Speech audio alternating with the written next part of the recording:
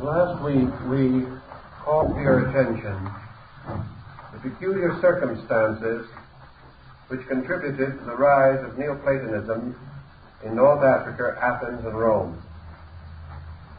To very briefly summarize this situation, in order that we may use it as a further springboard, we must remember that this sect came into existence almost at the very time of the decline and decay of three great empires.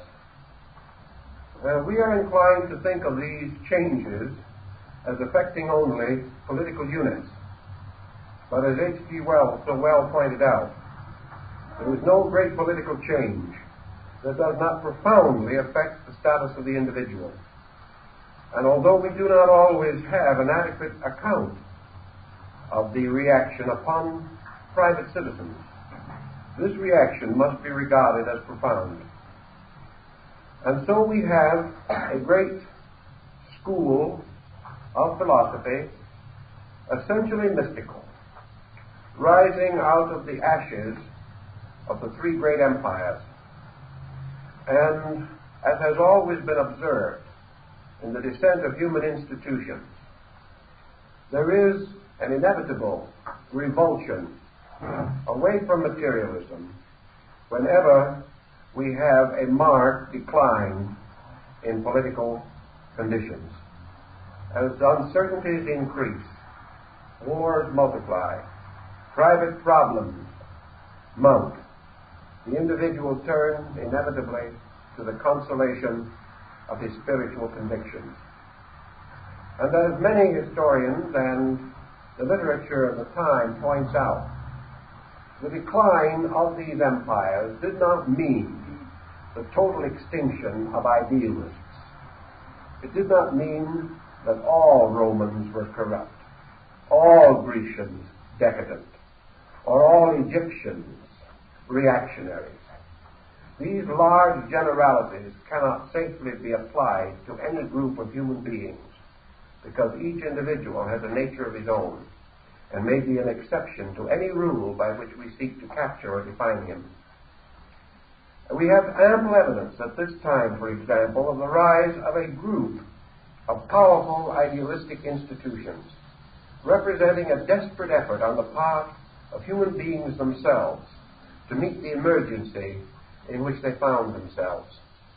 And of course, prominent among these groups were those in Syria and the Lebanon, the Essenes, the Johnnites, the Therapeutae, and uh, the groups of the Semitic schools and colonies in Egypt uh, under the leadership of men like Philo Judaeus. We also have the tremendous rise of Gnosticism in Syria under Simon Magus and in Egypt under Basilides. We find the rise of a great restoration of learning in Greece under the ample leadership of Proclus, who has been called the Platonic successor.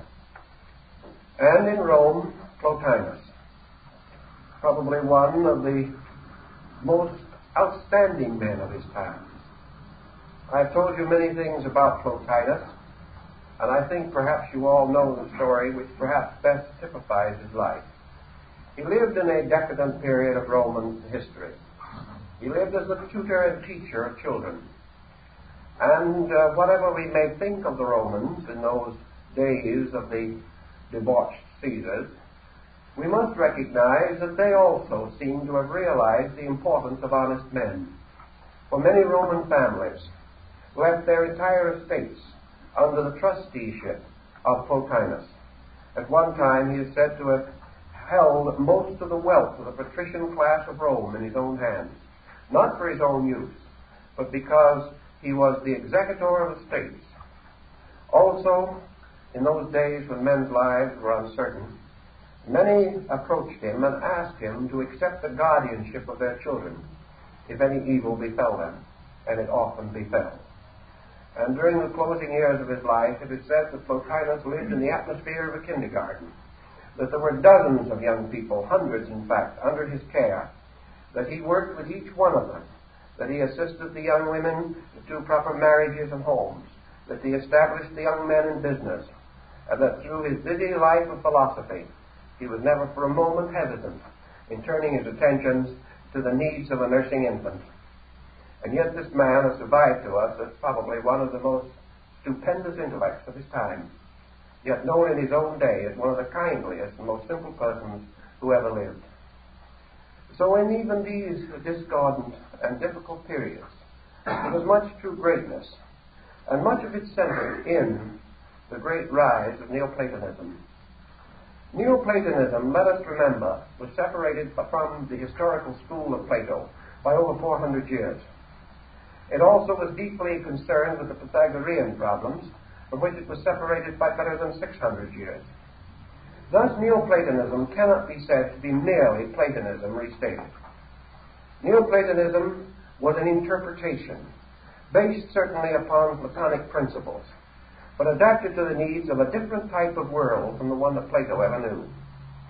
A world which had a great deal of sadness in it, a world despondent with the weight of its own worldliness, a disillusioned, almost neurotic world, a world that had lost its securities, a world in which the private citizen was no longer able to count his blessings or to determine with reasonable certainty his own daily future.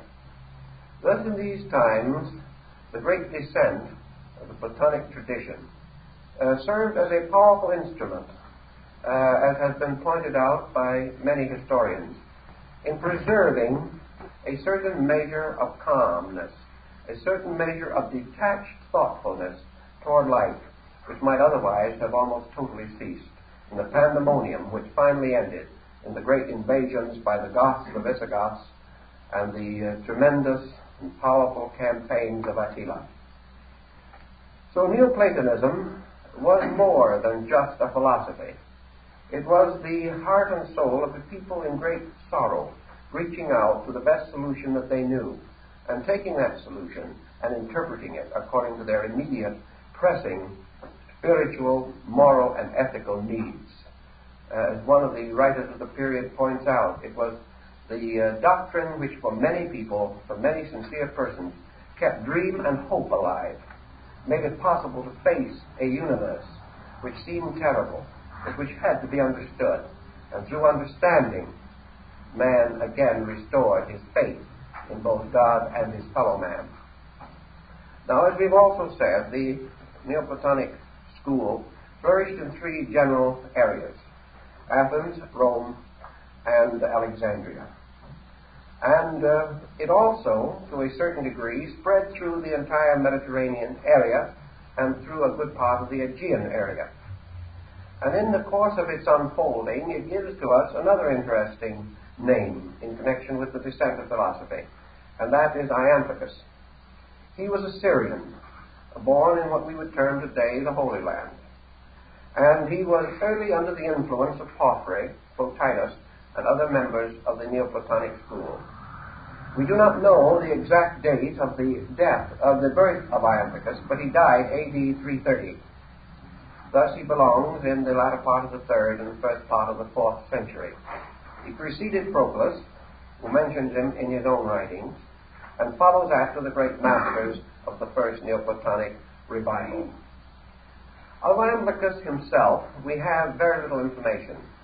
Probably the most that we can ever know of a person of this kind is to be derived from the tone and quality of his work. As a person, he is indistinct. Uh, as a character, as a temperament, as an individual, he is rather powerfully delineated. Iamblichus was by no means the most brilliant of the Neoplatonists. That he was a serious and uh, sober scholar, we know. That he was a man of great personal piety, we can also rather quickly uh, apperceive from his work. In his life and in his thinking, devotion dominated. And while, as was natural in those days, in which there was no essential div- division between religion and philosophy, uh, there is not a clear line of demarcation in his thinking. We can see that everything he touched, he handled with a, a peculiar and wonderful mystical reverence.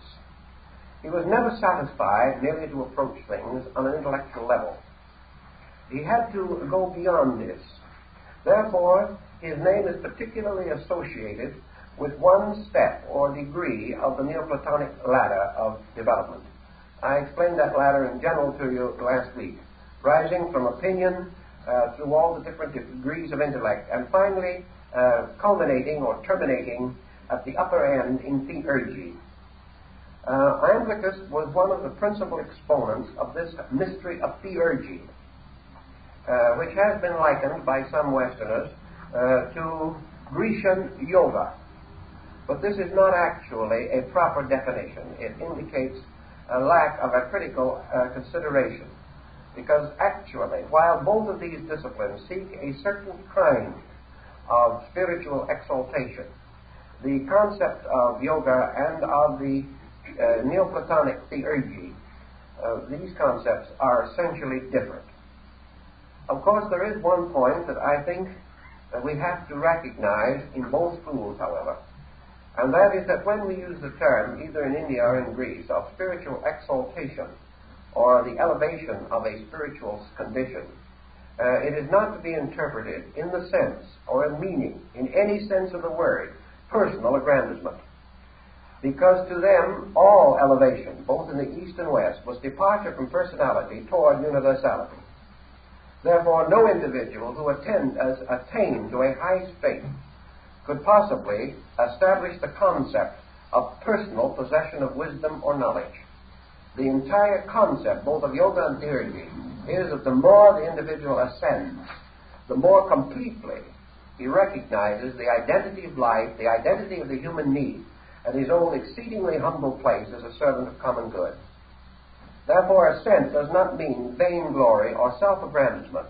Ascent means the actual attainment of a level of internal realization in which the self is no longer important. This is clearly pointed out in no uncertain words by the Neoplatonists and also is to be found in practically every ancient Oriental work dealing with the yogic or Vedantic disciplines. Now, theurgy becomes so important uh, to Iamblichus that he devoted a very great part of his writing to this consideration. He had a school which was reasonably strong but did not survive very long because all of Neoplatonism was gradually entering into a period of, of fierce persecution from which it did not survive as a sect. Although it did survive in many respects to dominate practically every system of idealistic thinking from its own time to Ralph Waldo Emerson. In the Neoplatonic uh, group founded by Iamblichus were a number of fairly brilliant scholars, and there is still some question today as to which one of these, or if all of them together, uh, united to produce the text which we are interested in this evening. Its ancient title, as it first appears in known manuscripts and in the first incunabular printings, is Iamblichus on the Mysteries of the Egyptians.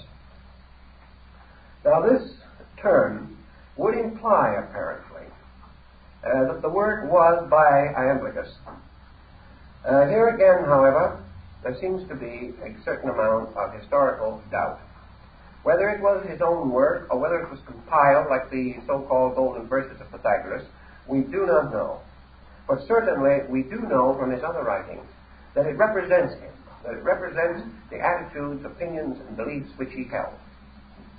And as uh, it takes form and develops uh, before us, it becomes impersonalized almost on the title page of it.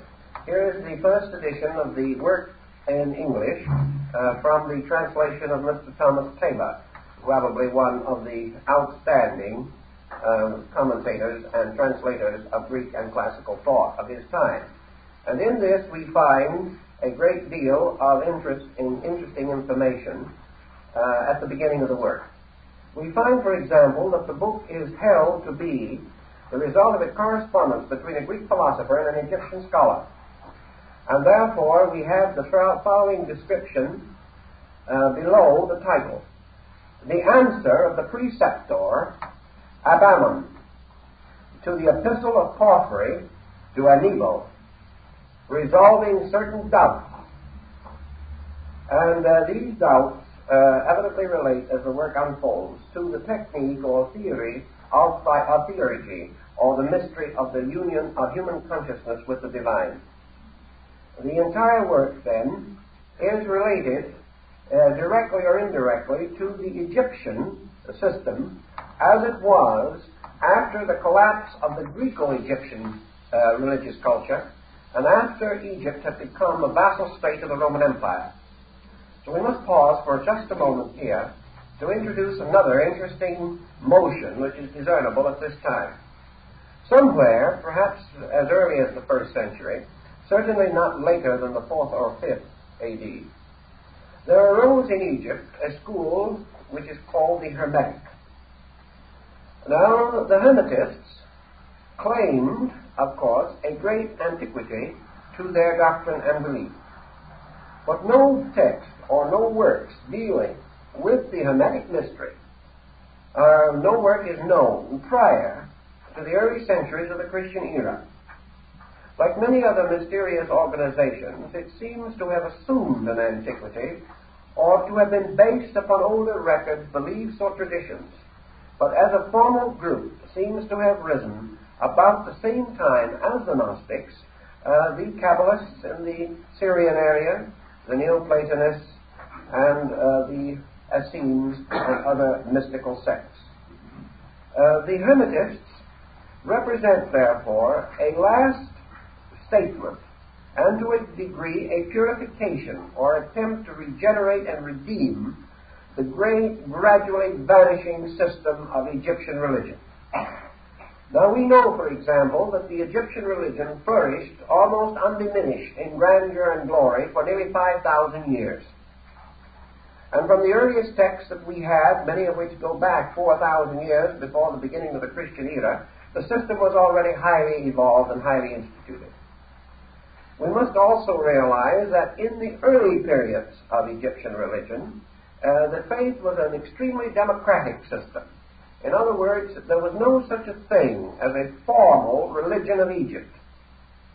We have to use a term, Egyptian religion, but it actually carries a consideration of probably 30 or 40 different faiths united into a grand pattern.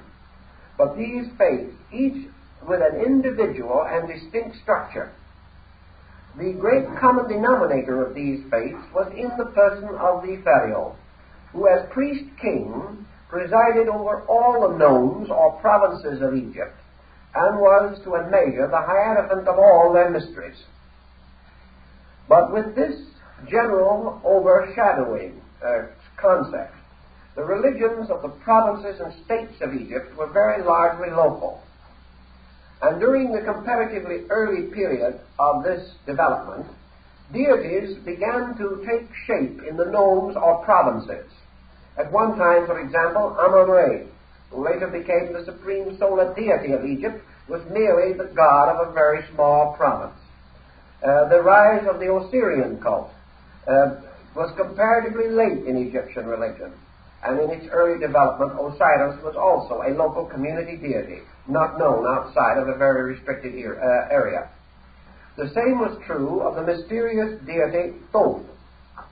Thoth, the god of the writing table, seems to have been partly derived from the earlier Assyrian, Chaldean, and Babylonian concept which was summarized in the deity Nebo. Nebo, uh, there is a, a statue of him in the British Museum. On the base of the statue are these words What has been will be. I am Nebo, Lord of the writing table. Nebo was the keeper of the records. He was the uh, wise historian, chronicler, scribe of the gods. He was also an intellectual deity, ruling mind and thought. And he was the one who recorded all of the wisdom and wonder of the universe. Gradually, in the rise of the Assyrian Chaldean complex, therefore, Nebo became identified with the principle of mind because he was the mind of the gods. He was their messenger, he was their friend, but he also took upon himself various attributes, and as the divine mind, he descended to earth, took form, and taught men. Therefore, he brought the wisdom of the gods to men, and gained a great distinction as the messenger or manifestor of the divine will. He was the beloved Son of the Father God, and was therefore an intercessor uh, between gods and men. We find this in the ancient cuneiform tables in the British Museum and in other ancient uh, monuments and repositories.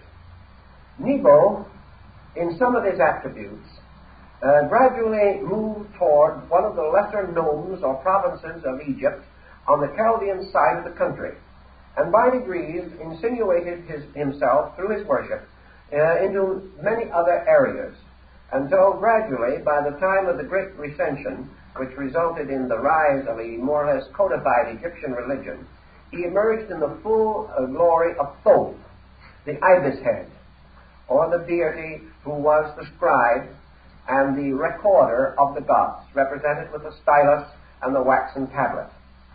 Thoth was therefore, uh, in turn, identified with the principle of wisdom. And as wisdom and as the scribe of the gods, as their messenger, as the ambassador of the deities uh, to various parts of the world, uh, he gradually came to the notice of the Greeks, who found him exceedingly similar to one of their own divinities. When the uh, Greek hierarchy of pharaohs took over in Egypt under the Ptolemies and under the splendid court of Ptolemy Philadelphus, uh, the Greco-Egyptian complex of religion began to emerge and take particular form. And in this period there rose several deities that had previously been comparatively local, but because of their similarities or parallels with Greek gods, uh, became more and more intriguing and interesting to the Greek uh, hierarchy and the Greek principalities that arose in Egypt. These deities were, in uh, more or less in order of importance, Thoth, Osiris, Isis, and Serapis. All of these deities show a, a very strong later uh, Grecian influence. Of course, all of them were worshipped earlier but usually not in the same way, or with the same legends, or with the same interpretation. Uh, the uh, nearest to being an exception to this would be Isis, who was worshipped in much, old, in much uh, larger areas at an earlier date. But the great Osirian Isis and the cycle of legends which surrounded her in connection with Hermes and Serapis were a comparatively late date, but she flourished um, greatly in the last years, last centuries of the Egyptian religion. In the transition from Greece to Egypt of certain philosophical doctrines, possibly post Pythagorean, uh, there is the transition between Thoth and Thoth Hermes. And little by little, the Egyptian Thoth came to be known even in Egypt as Hermes. As Hermes, he was still essentially the scribe in the Book of the Dead. He was still the messenger and writer of the gods. He was still the mediator between the gods and mankind. But by the time we come to the cycle covered by our story this evening of Iamblichus and his work on the mysteries, Hermes had come forward and had eclipsed Isis and Osiris and Serapis. Hermes had become the principal patron of the late Egyptian restoration. And gradually, from this circumstance, there arose a new sect, which is called the Hermetists. Now, many persons think that the Hermetic philosophers were essentially alchemists. In the chemical sense of the term, this is not so. Uh, the original Hermetic teachings were very much closer to the Gnostic and the Essene. And the divine Pymander, the shepherd of men, and the great dialogues and discourses of Hermes uh, constitute a literature highly mystical, with a considerable amount of Gnostic and Neoplatonic influence, and also with borrowings obviously from the Kabbalah and quite possibly from the Far East, because your caravan routes were functioning at that time. The Hermetic mysteries, as we recognize them at this point, therefore, were highly philosophical, highly metaphysical. They related primarily uh, to the regeneration of man and approached the subject very much on the same level as the Neoplatonists. The Neoplatonists uh, mingled considerably with the Hermetic philosophers, and it is interesting to note that in the rise of the Christian church, which followed within two or three centuries of this date, that the only early pagans or neo pagans that have been held in high esteem by the church and were never publicly attacked or defamed by the church, but were regarded as legitimate uh, predecessors of the church philosophy were Plato, Hermes, and the small original group of Neoplatonists. Uh, these individuals were given particular consideration, perhaps because St. Augustine of Hippo, who was one of the first codifiers of Roman law under the uh, Holy Roman Empire, was himself strongly addicted to these sects. In any event, the Hermetic teachings drifted into the early works of the Nicene and post-Nicene fathers, and there is very little conflict. In fact, uh, these and the Platonic works were accepted almost without question and contributed very largely to the uh, modification and structure of the early church. This is not speculation. The ante-Nicene fathers themselves explicitly state that this is so. And writing in the first and second centuries, they should be in a reasonable position to know. Uh, this particular point then brings us now to the involvement of Hermes in this particular work. It begins with a sentence relating to Hermes in which the preceptor Abammon, the Egyptian, explains that the wisdom which is herein contained, and now he is following the Hermetic story almost exactly, uh, may be traced or was traceable to Hermes, the god who presided over language, and was formerly very properly considered as common to all the priests. Uh, he explains, for example, that the wisdom which he is going to unfold in this study of the mysteries is based upon the Hermetic pillars, which were probably buried or hidden under the temple of Sais uh, in Egypt, uh, where Solon claimed to have seen them uh, as a result of a trip through a subterranean lake to an island under the earth, where the two pillars of Hermes, or as they are also alternately called by the non-Hermetist group, the pillars of Enoch, were said to have been standing since antediluvian times. Our priest in this particular work says that these pillars had been seen and studied by Pythagoras when he was in Egypt, and that this knowledge uh, which was upon these pillars was known to both Pythagoras and Plato, and that it was through them that it descended into the Greek side of Neoplatonism. And it was through the Egyptian uh, branch or side of the subject that it descended through the Hermetic mysteries.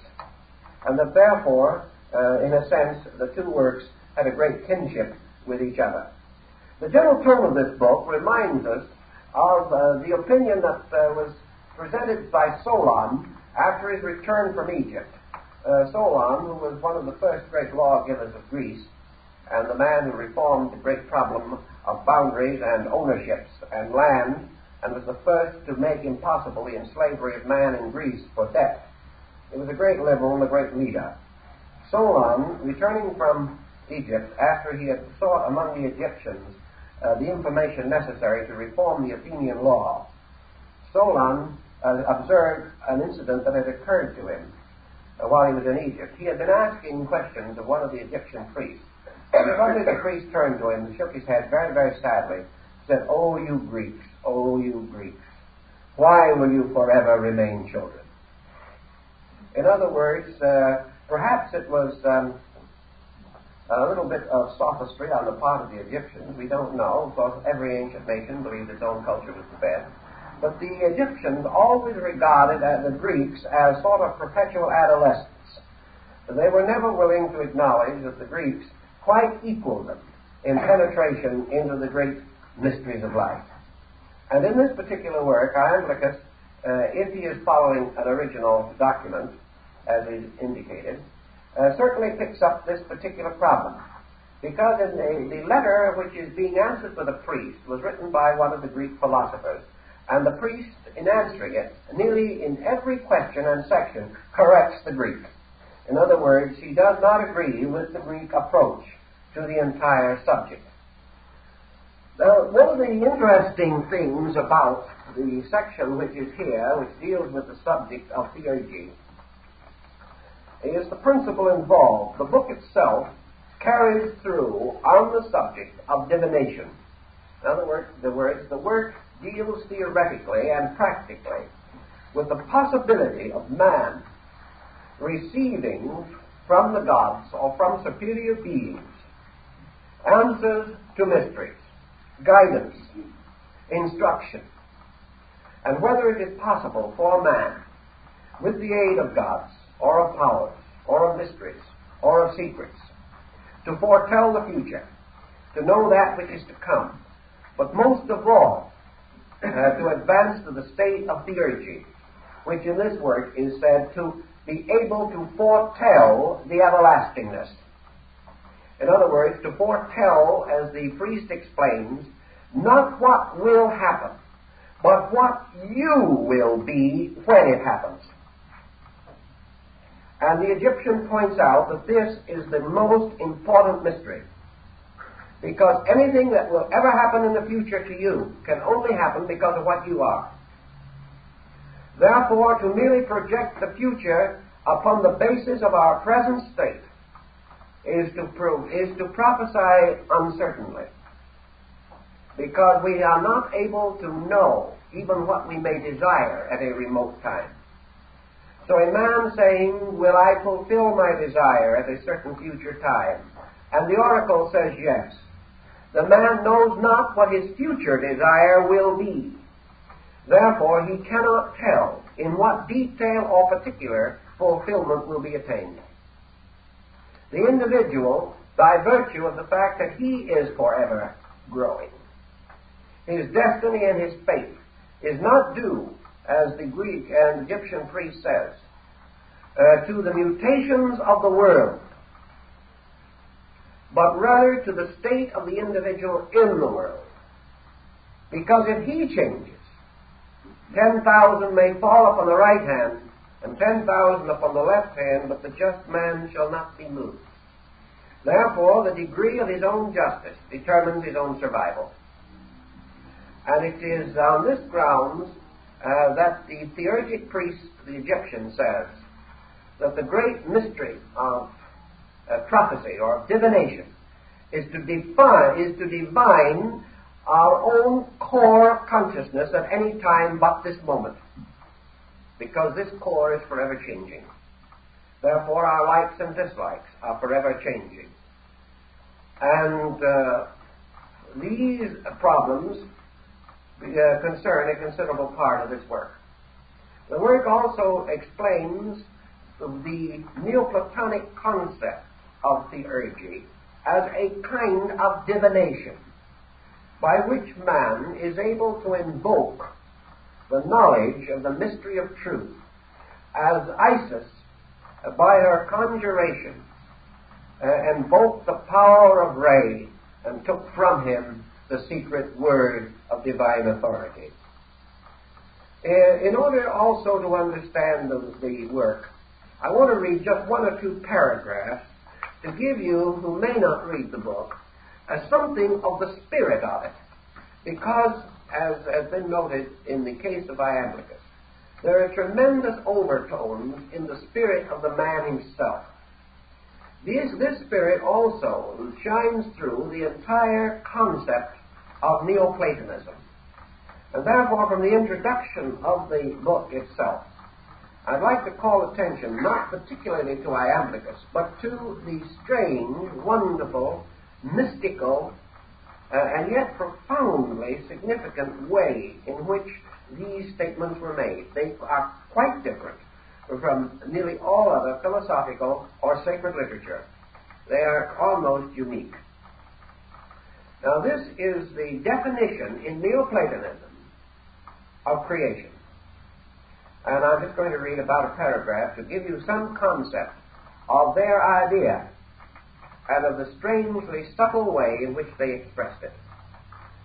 According to this theology, therefore, from the immense principle of principles, in which all things causally subsist and exist, absorbed in superessential light, and involved in unfathomable depths, a beauteous progeny of principles proceed, all largely partaking of the ineffable, all stamped with the occult characters of deity, all possessing an overflowing fullness of good.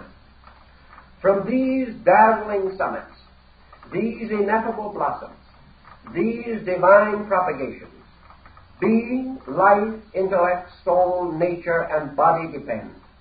Monads suspended from unities, deified natures, preceding, uh, proceeding from deities. Each of these monads, too, is the leader of a series which extends from itself to the last of things, and which, while it proceeds from, at the same time abides in and returns to its leader. And all these principles and all their progeny are finally centered and rooted by their summits in the first great all comprehending one. Thus all beings proceed from and are comprehended in the first being. All intellects emanate from the one first intellect. All souls from the one first soul. All natures blossom from one first nature, and all bodies proceed from the vital and luminous body of the world. And lastly, all these great monads are comprehended in the first one, from which they and all their depending series are unfolded into light. Hence, this first one is truly the unity of unities, the monad of monads, the principle of principles, the God of gods, one and all things, yet one which is prior to all. I think that is uh, probably the most complete summary of the doctrine that we can find in the Neoplatonic literature. It uh, also gives us something now of the spirit of this particular doctrine. Iamblichus claims very definitely that a great part of this material is derived from the remnants and the fragments and the surviving instruments of the old Pythagorean system. And he points out very definitely in this concept what he calls the concept of unity, which uh, is uh, more or less unfolded in this definition. These unities as unfolding or descending blossoms suspended from unity. Iamblichus explains through the Egyptian priest, or perhaps it is the priest himself explaining, we probably will never know, uh, that all things proceeding from unity must forever bear within themselves the seed of unity. That unity itself stamps as what, with what Verney calls the signatura rerum, the great seal of likeness. And that nothing can proceed from unity that is not itself a unity. Therefore, according to this system, all beings proceeding from primordial beings partake inwardly and eternally of unity, and likewise subsist in and forever remain within the body of all circumscribing essential unity. Uh, also, Iamblichus tells us that the proper and least, rather the most proper and least erroneous definition of the unity of unities, the principle of principles, is that it is the one and the good. It is the one because by unity man bestows the, the supreme sense of his own power to bestow honor. As his own consciousness and his own nature instinctively perceives the oneness to be the most honorable, to be the most ancient, to be the most inevitable. And by oneness or unity, he bestows the attribute or title of totality. Therefore, totality as one is the supreme being.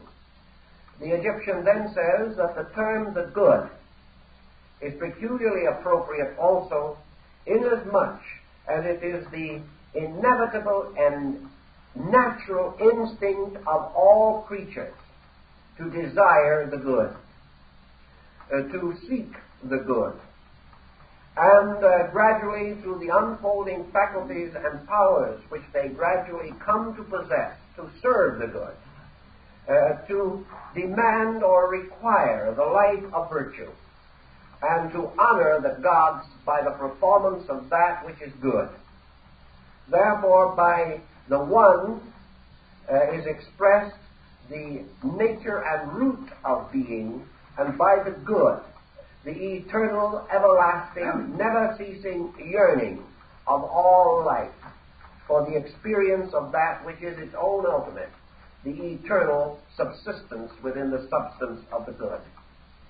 that all things that may be may be good, that man may be in himself good, and through his own goodness make good the world, and that when he achieves these ends, he is at the same time stating his highest religious conviction concerning the one, because he instinctively assumes that the great desire of the one, as expressed through creation, is for the realization, manifestation, and total fullness of the good. Therefore, the one moving into activity in any form moves by virtue, and that all the works of the one are good, and all the creations of the one are in themselves good, and that therefore the gradual revelation of good is the final revealing of the one in all the states of human society.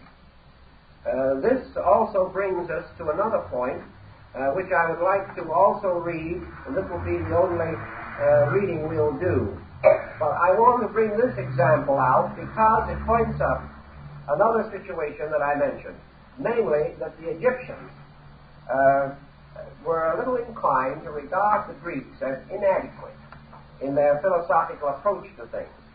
Now, in a book of this kind, it is quite possible that the author intentionally enters a, mis- a mistaken concept in order to sustain the explanation.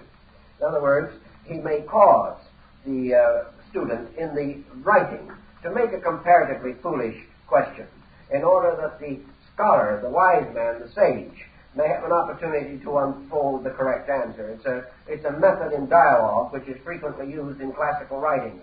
Because if the question is always complete and perfect, there is usually no need for the answer. A completely perfect question is the complete answer of itself. Therefore, there has to be something wrong in the statement, or it does not lead uh, to a discourse or dialogue. So, in the dialectical and dialogic form, uh, this is common. Now, in the Egyptian priests answering the Greeks, we have an interesting point here, which also uh, uh, sustains one of the abstractions of this point.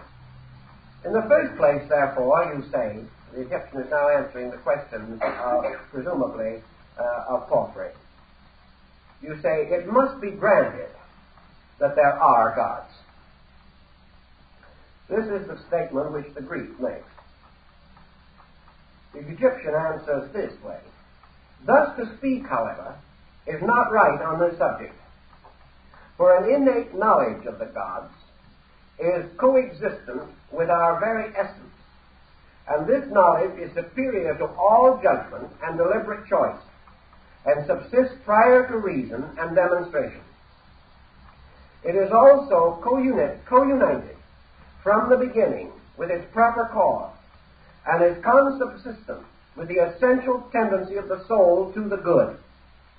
If indeed it be requisite to speak the truth, the contact with divinity is not knowledge.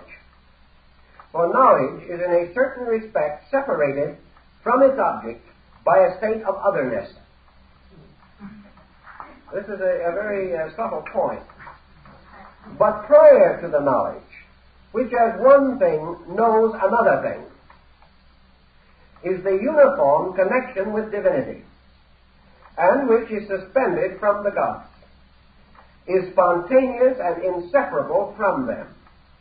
Hence it is not proper to grant this, as it might not be granted, nor to admit it as ambiguous, for it is always uniquely established in energy, nor are we worthy to explore it, as if we had sufficient authority to approve or reject it. For we are comprehended in it, or rather we are filled by it, and we possess that very thing which we are, or by which our essence is characterized, in the knowing of the gods.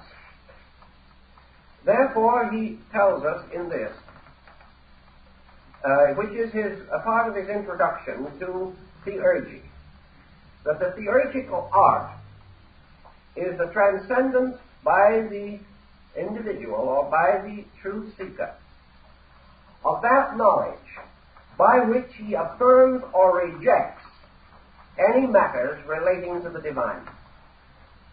In other words, I don't mean that he conforms necessarily to an opinion, but rather that he does not approach the nature of the eternal or being, as, uh, Uh, as Iamblichus calls it, as something worthy of contemplation, or something which can be contemplated by another thing separate from itself. The Egyptian here is pointing out that in this subject, therefore, man depends upon the use of a power within himself, which is not his own power, but the power of unity or divine cause, eternally subsistent within his own nature. Therefore, that man can only apperceive the true nature of being by virtue of the quality or power of that being in him and not by any power or nature, attribute, or faculty of his own. This is the foundation of theurgy, as it is taught in Neoplatonism. That the individual can never produce a vehicle of consciousness by which he is capable of transcending the limitations of this otherness, which is the state of his own approach to, estimation of, or reflection upon reality or truth as something separate or distinct. He is therefore warned in the beginning of the theurgical arts, which were the uh, highest uh, levels of the Neoplatonic mystery, that to contemplate is to proceed to the point in which we may see things as pictures, or as likenesses, or as representations, and that these likenesses and representations, like great art, great music, or any other magnificent aesthetic expression, may stimulate us, may enthrall us, uh, may give great joy and beauty to us, may ennoble us, and may give us the strength and security for further achievement. But in themselves, they cannot be considered as the direct manifestations of the supreme power inasmuch as that which can be contemplated apart from man implies the existence within the experience of man of a state of disunity. Man and the object of his quest are two, and truth is one. Therefore, the Neoplatonists maintain that as long as the observer observes, as long as the knower knows, as long as the thinker thinks, there must be otherness. And therefore, that the supreme work, uh, which they believe to have been the original uh, doctrine or concept of the Greek mystery, was that man must first overcome otherness. Or, as they would have said it, perhaps more wisely, that this overcoming of otherness is not the first, but the last. It is the most difficult and the most abstract and mysterious of the theurgical practices. This, of course, consummated or crowned the entire Neoplatonic system. And all of their other disciplines, as Porphyry and uh, Plotinus also tell us, they, all of the disciplines were to prepare the individual uh, to approach the mysterious state of non-otherness. Here, of course, we have had uh, reason uh, to liken certain of these concepts to the Eastern systems, uh, to Buddhism with its nirvana, to the Vedanta or yoga with their samadhi and other similar states. But in the Neoplatonic system, it is a little bit different. The Neoplatonists did not uh, seek identification with eternity through the rejection of life. He did not seek uh, to destroy uh, the individual. He did not seek to prevent the natural growth of the intellect or the unfoldment of any attribute which man may have inherited uh, from what our Egyptian would call the secondary gods. Other than that, the uh, Neoplatonists made great stress and emphasis upon the, the individual achieving what they would term the philosophic life through the gradual, sequential transcendence of limitation. In other words, uh, the great initiation rite was growth itself. And growth represented the individual's achieving and transcending, never evading or avoiding or seeking uh, to escape. That there was no way through any problem in the long course of human experience except straight through. That the individual had to always have victory. For failing in victory, he failed in release. Any problem that is not completely solved must remain a terrible uncertainty in the consciousness of the individual. And he will therefore face it again and again. Not because the problem necessarily is so great, but because his own strength is not great enough. Thus, in the uh, Neoplatonic system, man grew by exhausting the limitations imposed by every level of existence. This is precisely the burden of the divine Pymander or the shepherd of Hermes, in which the individual, the initiate seeking the mysteries, ascends through the orbits of the seven planets, and at each of these orbits he transcends or solves the mystery of that orbit until finally he attains to the empyrean and passes through the mysterious little door in heaven and comes before the throne of the Great One above the great crystalline sea, as described in the book of Revelation. A very large part of that magnificent scene in Revelation is almost word for word from the Hermetic books. In the um, Neoplatonic concept, therefore, we have the gradual experience of the individual moving from the sense of separateness or the sense of aloneness toward the sense of identity. To the uh, Egyptian who writes this book, aloneness is, this, is the acknowledgement of the acceptance of diversity. The more completely the individual believes in many, the more completely he is capable of isolation. If he believes in ten or a hundred or a thousand, he is one of them. And they may all exist around him, and they may all press in upon him.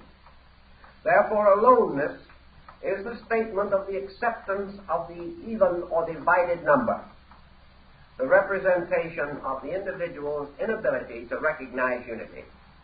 And uh, the Egyptian also points out that from the earliest points of man's existence, he has been moving from a savage isolation toward a gradual integration of a social structure in which he no longer experiences aloneness.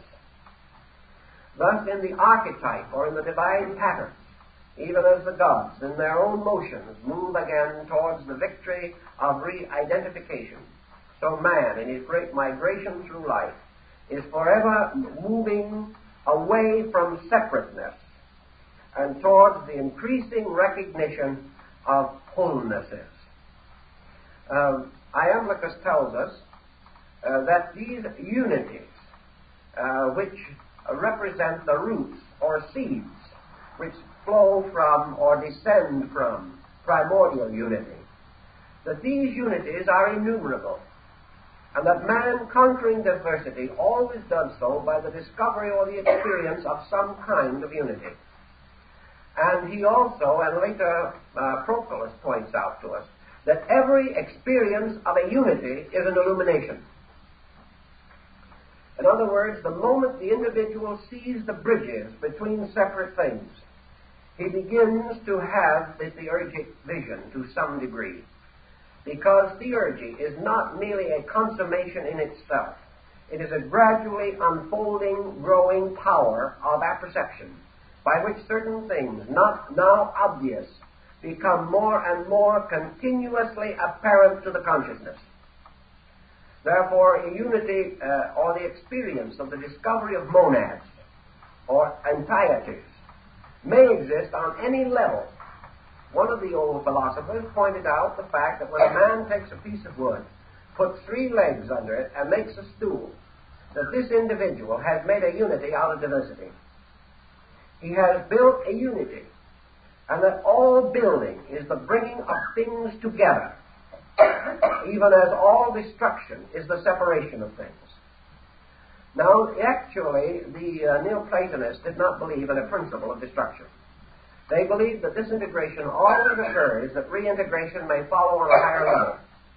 But they did recognize that things may fall apart. And they also considered that things which fall apart pass from a state of growth into a state of decay. So that something that becomes decadent, that falls apart, that relapses, that uh, no longer hangs together, that no longer has integration and purpose. This inevitably leads to decay and the final disintegration of parts.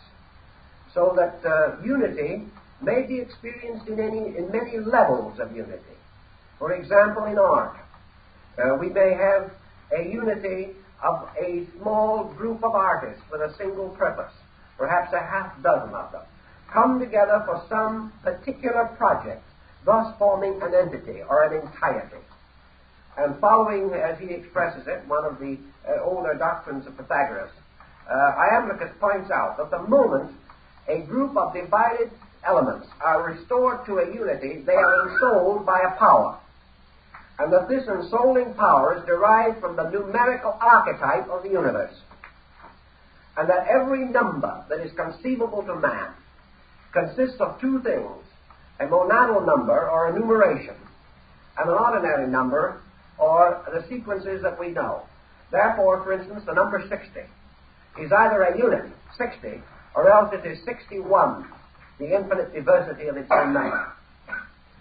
In the uh, grouping, uh, as he expla- explains it, therefore, the experience of unification releases archetype which exists in space.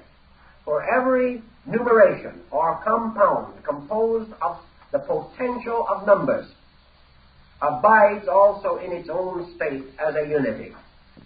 The recognition of the ten parts is not the experience of ten. And the experience of the oneness of ten is achieved in the life of man, according to Iamblichus, through the voluntary cooperation of human beings who discover the old adage, in union there is strength. And that uh, these unions uh, create a oneness when six men are of one mind, there is a oneness. And this oneness is an archetypal entity. And according to the Chaldeans, these archetypal numerical entities are gods. Or, if we wish to look at it otherwise, uh, they enable, through a new body compound, to achieve a release of the common strength of the group. So, in the uh, story uh, as uh, Iamblichus expresses it, there are two ways of approaching this mystery. One is to recognize the possibility of achieving union in the otherwise, or in the otherness. In other words, that we may take blocks on a table and arrange them. We may take ten tubes of paint and paint one picture with them. This picture is a unity. And this unity is really the instrument of an idea. And in that condition, or in that instance, man himself, as the painter, is the archetypal pressure that is released only through the necessary media or instruments. But uh, the Greek and the Neoplatonists emphasize that these unities, which are so important, may be intellectually known in the otherness, but can never be experienced in the otherness. The only experience of them lies when this entire process of coordinating parts or the restoring of these divergent numerations, that it must all occur within the individual, not within the world around him. He must experience the unity. And the primary experience arises from the unification of the diversity of his own parts. And that just as surely as uh, evolution must bring him to the gradual unfoldment of his potentials. This law operates through the restoration of unities throughout his body, throughout his emotions, throughout his soul, throughout his mind, throughout his consciousness. And the individual, as uh, the Egyptian in this work says, is dissimilar in his present state, due principally to the fact that he is disunited within his own nature. And that which is in itself divided cannot, in that state, have the experience of being united. It must attain to this experience. It must achieve it. And of course, in the ancient ritual, the uh, story of initiation, as uh, contained in the Egyptian mysteries to which the old priest referred, was a series of pageantries, dramas, or symbols to impress this upon the neophyte or the candidate. Not so much by things said as by things seen or heard. Not so much by counsel but by mood, by the tremendous stimulation of some internal release of the individual. And a release that is made possible or made suitable by an experience. And therefore, the initiation ritual was totally different from instruction because in the initiation there was an experience, a participation. There was not this mysterious interval of otherness. The candidate was actually doing these things himself. He was not hearing about them. And uh, this is also involved in the mudras of Indian religion because the hand postures, although they are symbolical and in themselves apparently trivial, represent the tremendous difference between learning, listening, reading, and even the simplest gesture of the hand in the actual act of doing. The transformation of a symbol into a living circumstance by the bestowal of internal energy. In this uh, uh, uh, story, therefore, in the development of their level of theurgy, the Neoplatonists emphasized that uh, the great art, the mysterious uh, wisdom revelation which they sought, was not one thing, not one attainable mystery, but was a series of reversals of the involutionary processes by which greater and greater separateness uh, became the burden of human life. And that by reversing this process, man gradually united the various elements and powers of his own nature.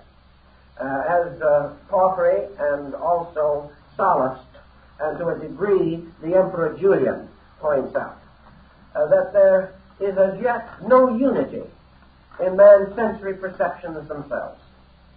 The eye sees with one purpose, the ear hears with another. Man cannot control his own faculties.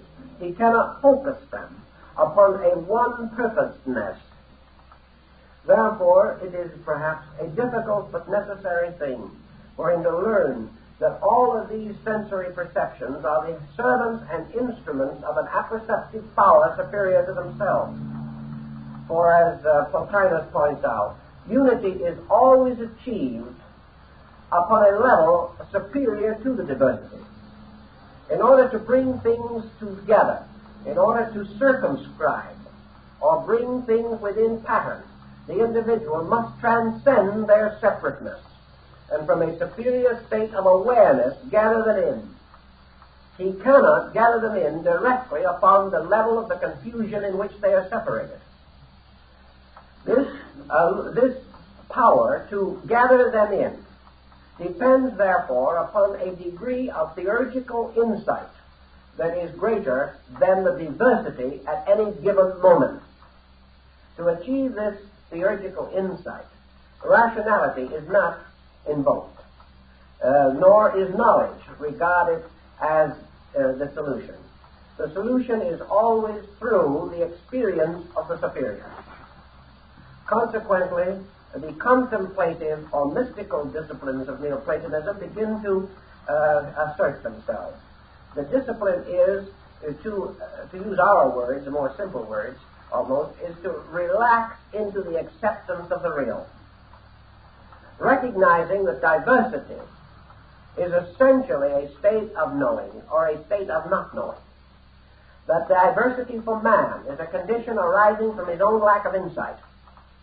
The primary problem is not uh, that he shall increase in insight, but that he shall no longer uh, increase in failure of insight. In other words, it is not so much in this concept that he grows as that he ceases to resist growth.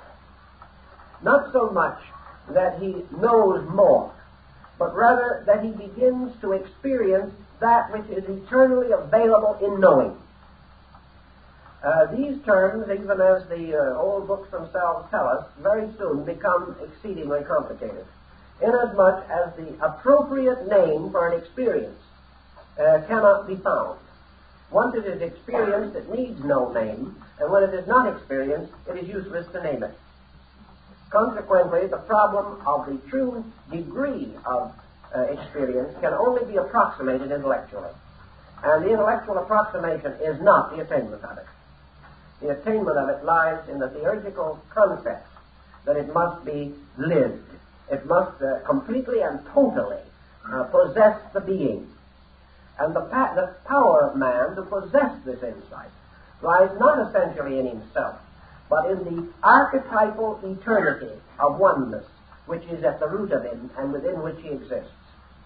Therefore, man's eternal pattern of growth arises from the inevitable impulse of diversity towards its own reunion.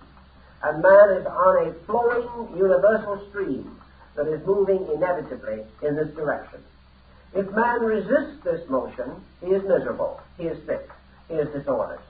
If great collective parts of mankind resist this motion, they are inevitably destroyed thereby or at least frustrated and injured. It is therefore the resistance to that which is true or real which is regarded as the greatest handicap. And in the uh, theurgical part of this mystery, the disciple is taught that if he does not prevent unity, he will experience it. Perhaps that is the nearest way in which I can put it into the words uh, of the original concept as it is given. If the individual does not stand in the way of experience, but is simply quietly receptive of reality, the archetypes move through him. He experiences them, he knows them because they are of himself. And as in the paragraph which I read, he no longer takes certain things for granted or presumes or assumes or believes. These things move through him when he does not prevent their motion. In our world, however, we are inclined to prevent motions, and it was not so different in the days of Socrates, because the individual, in order to not resent or prevent motion, has to have a certain attitude toward the problem of growth. This attitude lies in the recognition that there is no obstacle but the self, and that all other so-called obstacles are excuses. That the motion of the individual for totality is a completely internal and eternal motion. That it need not be conferred by one upon another because it is equally present in all things. And as the Egyptian tells us a little later, the stamp of universal or divine being as totality is present in everything from the greatest to the least throughout space. That there is no being, no creature, no existence which in its essential nature does not possess unity. And in possessing unity, possesses the potential of experiencing total existence. Therefore, the obstacle lies not uh, in the inability of the individual to receive instruction or the inaptitude of the times or the inconsistency of surrounding circumstances. Because unity is present and its total seal and stamp in everything that exists, from the greatest sun in space to the most minute molecule or ion dancing in a ray of light or energy. These are all totalities, and the totality of each is God.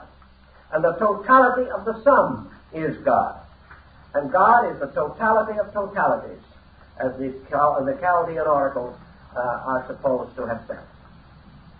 In this concept, then, uh, the Neoplatonists held that theurgy was the attainment of that which is the inevitable state of man. Some achieving it uh, through vigorous attempt, others uh, through absolute self-forgetfulness in the service of other human beings. Others less thoughtful, having it slowly thrust upon them by the inevitable vicissitudes of existence.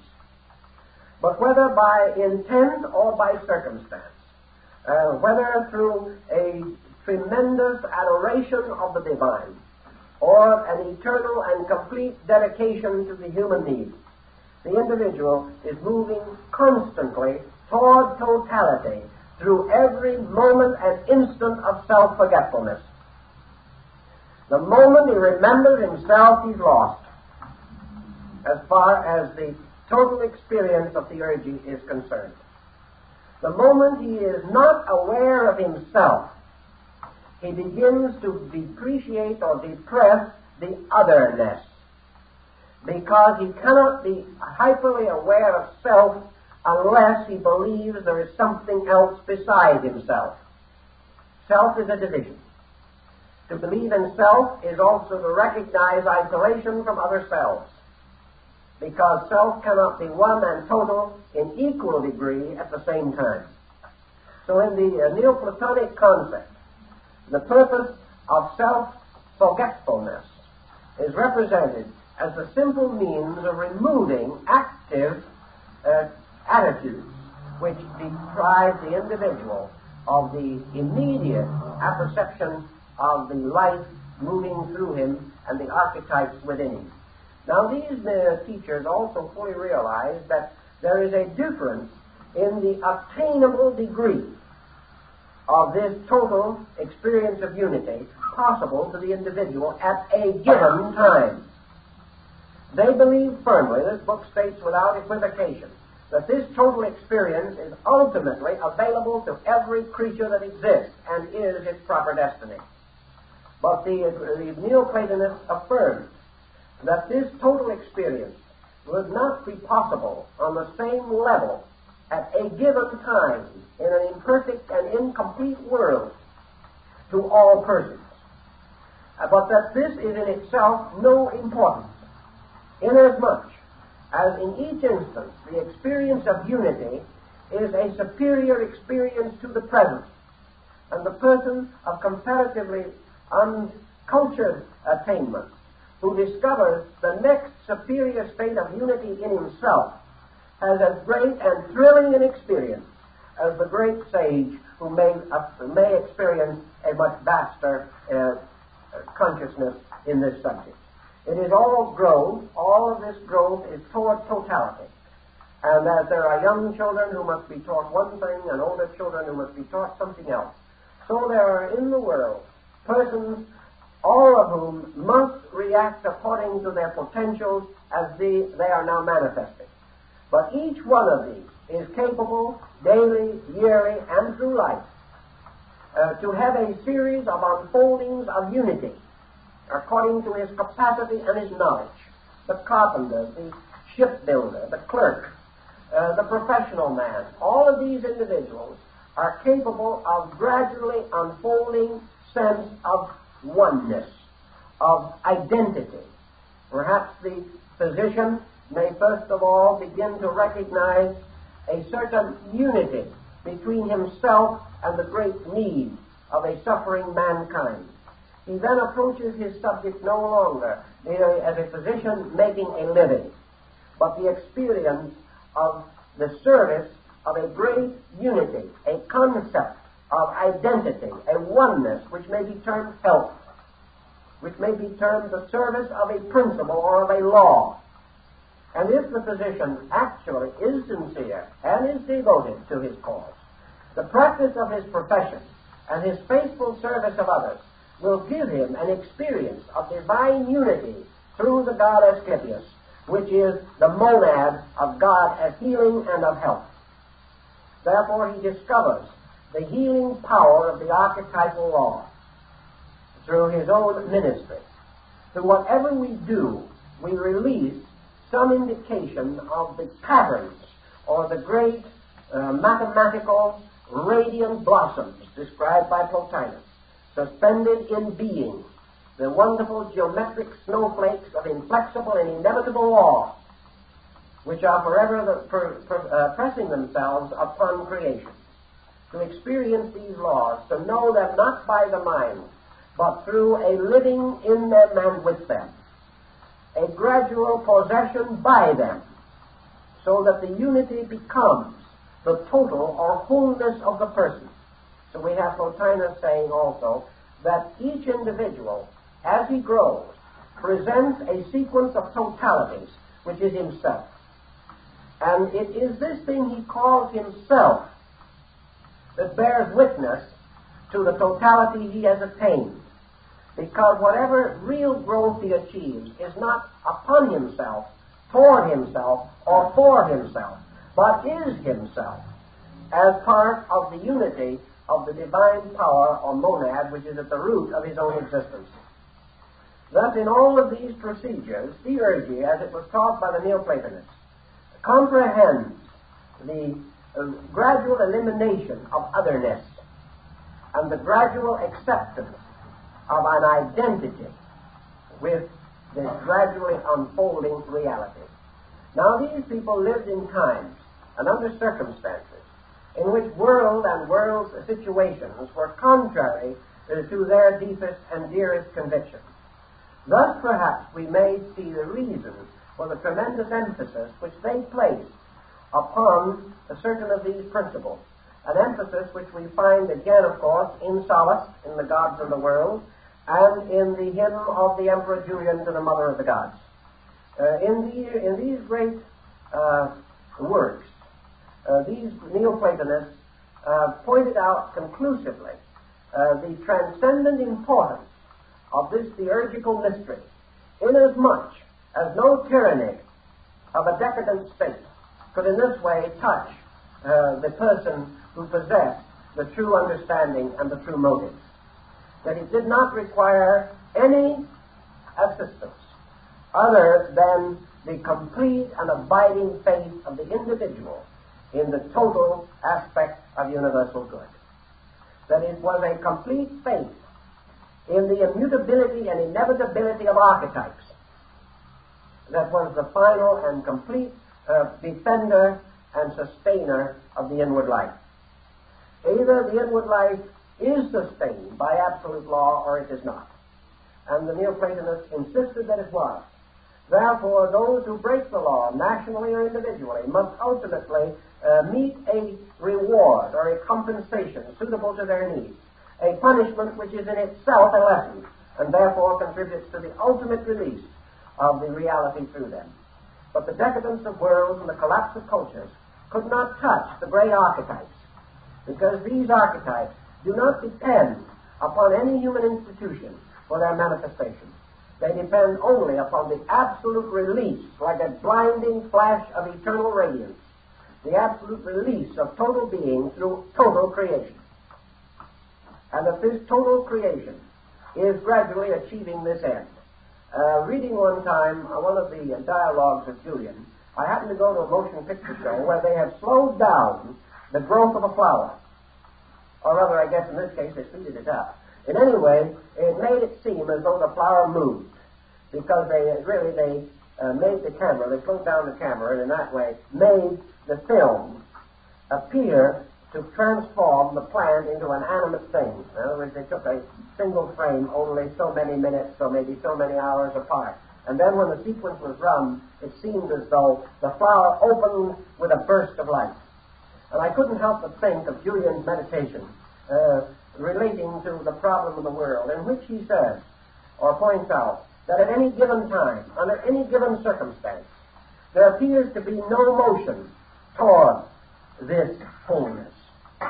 That there is no appreciable time in which we can say this is the day of great rejoicing. That each generation, each day seems to pass, uh, and the great plan is neglected and ignored, and the otherness prevails. But he also points out that in the, in the great other dimensions of human consciousness, this is not true. And that, uh, like the changing the rate of the camera, suddenly transforms a very slow process into an immediate apparent process. So actually, this tremendous motion is going on, but it is so slow that we do not notice it. But in the great unfoldment of the blaze of eternity itself, this motion is probably, in reality, far more rapid than we realize this bursting through of totality, the complete conquest of otherness by uh, reality itself, was to these people, these philosophers, uh, the condition most greatly to be desired. And in the practice of the idea, as we have said, they taught certain uh, cathartic disciplines, disciplines of purification, disciplines of instruction. They believed in teacher-student relationships, not because the teacher was wise or the, uh, the student was foolish, but because of an experience. But the experience of relationship, the man individual who could learn to follow the teacher, could sometime learn to obey God. And the teacher did not claim to be God or to hold any ancient or sacred prerogatives. But the individual who cannot obey can never lead successfully or securely. So all through their disciplines they set up patterns, not for the sake of forms, but for the sake of enriching, enriching or strengthening the inner character and attributes of the individual. And they went on from these disciplines of purification to disciplines of meditation and enlightenment, seeking always the uh, highest good as it was attainable to them. Uh, one uh, modern writer who was not particularly uh, favorable to these older philosophers, as is often the case, however, did summarize one statement not long ago when he said, Whatever we may say or think, we cannot question the magnificent ethics uh, promulgated and taught by these people, an ethics which probably is one of the highest in the history of philosophy, because these people made so much of the fact. In fact, their whole philosophy was suspended from the one fact that philosophy was not a way of thinking. Philosophy was not an accumulation of knowledge. Philosophy was an experience of life. So the quotation, make philosophy thy life. Not the subject of analysis or concentration or something of that kind alone. The ethical structure of the Neoplatonists, therefore, uh, is of some ad, uh, advantage to us to know exactly how uh, they proceeded in their general contemplations.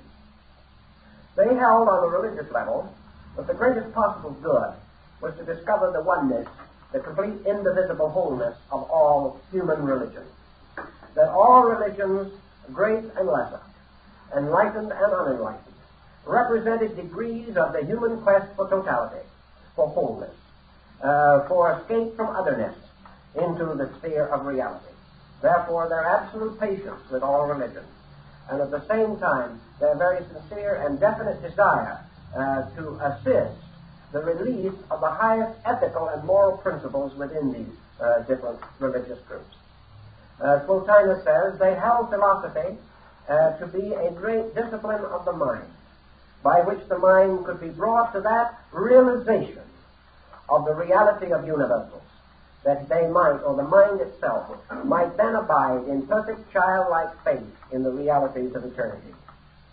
Like Socrates and Plato, therefore, the mind prepared the individual for the perfect faith, hope, and love, because it proved to him the kind of a world in which he lived, and enabled him to trust his eternal destiny without hesitation, without reservation, without mental limitation, to the infinite keeping of the infinite good. Of uh, morality, their doctrines would be as high as any that we have today. And for their general code, they were greatly indebted to the great uh, Egyptian negative confession of faith, uh, which they were uh, uh, able to contact, presumably, through the Hermetic mysteries. And of course, the, negative Egyptian, the Egyptian negative confession of faith is probably the greatest moral document on earth. It is a document so incredible uh, that we wonder that the Egyptian could accept it or even formulate it under oath. Because it is a type of thing that would be almost impossible for modern man to live up to. And yet it was not only inscribed in the mortuary rites, but because these rites were of the highest significance, uh, the individual, uh, in order to escape the implications of this, would have to stand prepared to perjure himself in the afterlife before God. And it is a little difficult to imagine that he would dare, under the existing state of his religion, to assume such a thing. It is not often that we see a complete statement of this as we find it in the early Hermetic works, but uh, for the original contains over 300 sections and constitutes an incredible moral code. But I remember three or four uh, thoughts in connection with it which were moved into Neoplatonism to become the basis of what they call the philosophic life. For as uh, I believe, if I can correct, it was Proclus who said, philosophy is nothing more than doing good. And then he adds, and to do good exhausts the power of philosophy. Because everyone in the world desires to do good, but very few know how. But in the event, the negative confession of faith includes such statements as the person standing before the great God, and with all the gods of the balance before him, surrounded by the rulers of the quick and the dead, in the great hall of Amentet, and the soul of the deceased addressing Osiris of the double empire, plumed and robed. The soul says, Never during my earthly life did I say an unkind word about any person. Never in my life did I bring injury to the living or the dead. Never did I covet that which was not my own. Never did I raise my voice against my friend or my enemy.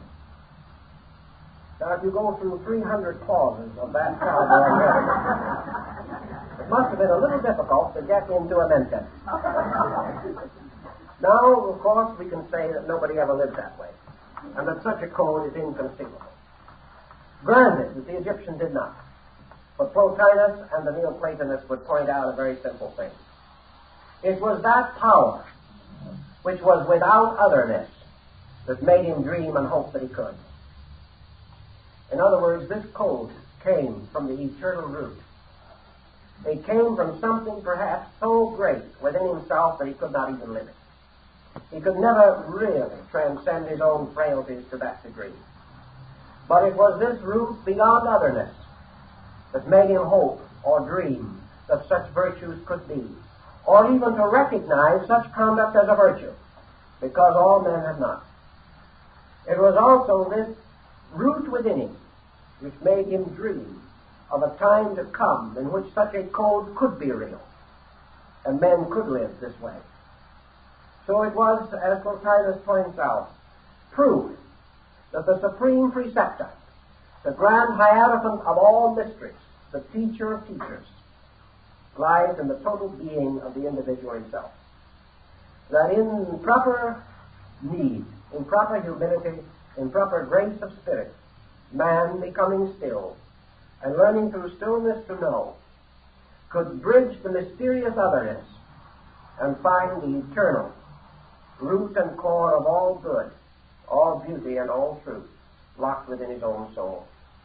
And that this great road past the otherness was the road of contrition, of dedication, of devotion, service, and love. These things uh, were greatly known by these people. And I suppose there is no group of philosophy in the Western world that made as heavy an emphasis upon human regard, friendship, affection, love, service, as this Neoplatonic school. It, to them, it was one of the essential disciplines of their religion. Uh, something not to be discussed, not necessarily to be advised, not even to be advocated, but simply, naturally, and without reservation to be applied. Not to be considered as a virtue, for Plotinus says definitely that man's growth is not to be considered as a virtue, but as the simple expression of an eternal necessity within himself. Man is not to be complimented because he grows, because growth is his natural way. And it is when he does not grow that he should be distinguished as in some way different and inferior to the order of life to which he belongs. Therefore, his growth is his fulfillment, his natural and reasonable course of action. And on this ground, uh, he is here to fulfill, uh, to develop, and to perfect himself. Plotinus says that during his lifetime, he was on six occasions elevated into theurgic identity with a blessed being. He tells us that this particular mystery is not to be explained, but that during these exaltations of consciousness, he was able to experience fully the complete meaninglessness of himself. That he was able to discover and experience uh, that truly he was a word spoken by an infinite power. That in himself he was nothing but that the great God in him did the work. And that in this relationship, he was not only the willing hand, the willing servant, uh, but that it was not even a servitude, because it was a realization of an identity that was so transcendent, so complete, and so immeasurable, that he was nothing and all, that he was not superior to the least nor inferior to the greatest, that he was totally alike, and that there was no longer any interval between himself and that which was infinitely less or infinitely great. Now, the degree of the exact enlightenment we do not know, but we know that it became the foundation of the entire theurgical art, which was to achieve the experience so that nothing is great nor small, but all things are true. And in their being true, they are not truth in the sense of fact. They are truth in the sense of radiant living being. For to the, all these ancients of this school, every reality was a radiant living archetype, not a fact, but a magnificent blazing entity, a tremendous mathematical formula ensouled by a divine power. And the perfection of the formula called that power by an enchantment. And that which is built in a certain pattern calls to itself the soul that is to inhabit it, like the urns that were fashioned by Omar the tent maker, each of which spoke with a voice according to its own nature. So in the uh, Neoplatonic concept, we find this uh, sense of illumination as being identity with the least and the greatest, without interval or difference. Uh, Plotinus pointed out that these experiences for man, uh, for the average man, can last only for a few seconds, because beyond that point, the tremendous and incredible bewilderment, the incredible uh, radiance, would be more than the human personality can endure. Therefore, for a second, this tremendous blaze is released like Bailey's lightning flash, and then the curtain falls again, and the individual lives once more in the peculiar uncertainties of the mortal sphere. But these experiences of that which is beyond otherness result in the sudden recognition that we are everything and everything is us. There is no interval, there is no difference, there is no time. There is simply the incredible ability to experience the entire impact of creation as a mystery of the eternal will and the eternal love. These things then made the peculiar school that flourished in this sad and visible transition period. That it brought with it a tremendous strength of inner conviction, we know. That it has a short span of existence, we also know. For we know that after the death of Theon of Alexandria, uh, Hypatia took the chair of philosophy in the Neoplatonic Academy and was later assassinated. The murder of Hypatia closed the Alexandrian school. The death of Proclus probably, approximately, terminated the school in Athens, because after that time his disciples were scattered and forced to flee into other lands. Uh, in Rome, uh, the school practically ended with the death of Plotinus. So the uh, Neoplatonic school did not live long in its strange, mysterious effort uh, to ex- explain chaos. the chaos of the Roman Empire, the chaos of Egypt and of Greece, by discovering, by a valiant extension of inward life, the immense reality which would justify chaos and would make it ultimately the instrument and servant of the great ordering power of an eternal good. These philosophers uh, left their mark upon history. Uh, their school of thought descended and has survived. We know, for example, the important part they played in the great statutes of St. Augustine. We know, furthermore, that they uh, were tremendously powerful in, in, shaping the whole great theological system of, time, of Thomas Aquinas. We know that they came on down through practically all the systems of idealistic philosophy uh, all the way down to our own Emerson. Uh, nearly all mystics of the uh, medieval uh, Christian period, both Catholic and Protestant, were by nature and by, in many cases, by pronouncement, Neoplatonists. Uh, they were able to be this because the church did not deny them that right. It did not hold up this one system to ridicule or uh, general uh, recitation. Uh, it was acknowledged and occurs again and again. In the Eastern Church, uh, the mysterious, the, the, mystical divinity of Dionysius Areopagitus dominated the entire Eastern Church and became part of the tradition which descended with St. Chrysostom. In the West, we have other equal mystics, uh, some of the more famous, of course, St. Bonaventura, St. Francis de Assis, and others, all of whom carried the same mystical divinity concept with them. And it is still essentially a part of church dogma. Thus, the, um, the influence of the situation uh, is reflected perhaps in the orders of penance, in some of the monastic orders of early Christianity, because of the effort uh, to escape otherness and to lay a foundation for crossing the interval between human limitation and universal and eternal life. And all of these systems are uh, related in this uh, transition. Uh, we know, for instance, that Aquinas specifically and definitely mentions these other authors and is indebtedness to them. It is not theory, it is factually there.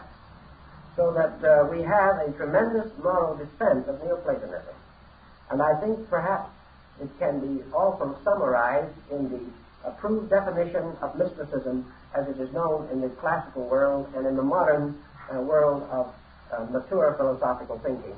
And that is mysticism is the belief or the conviction of the availability of the presence of the divine, and that the individual, seeking within himself, and unselfishly and impersonally, desirous and solicitous of inner instruction, will receive it. And that this instruction is possible because of the omnipotence, omnipresence, and omniactivity of the divine power, which is without boundary or limitation, and is the supreme or tremendous unity and is the tremendous archetypal impulse which was behind all creatures seeking wholeness and seeking to return again, like Ulysses, to their own far distant native land. And uh, as we go on with this series, we will also have a little time to consider the wandering of Odysseus and other phases of this subject, in Porphyry's Cave of the Nymphs and Socrates, uh, uh, rather, um, uh, Apuleius on the god of Socrates. They, we will mention them in connection with other things. But I think perhaps this will give us a little picture of the contribution that was made by the work of Iamblichus on the mysteries, which is the basic concept on which we have been working tonight, the concept of theurgy. And we will pass on in the next instruction to another phase of Neoplatonic discipline. And thank you very much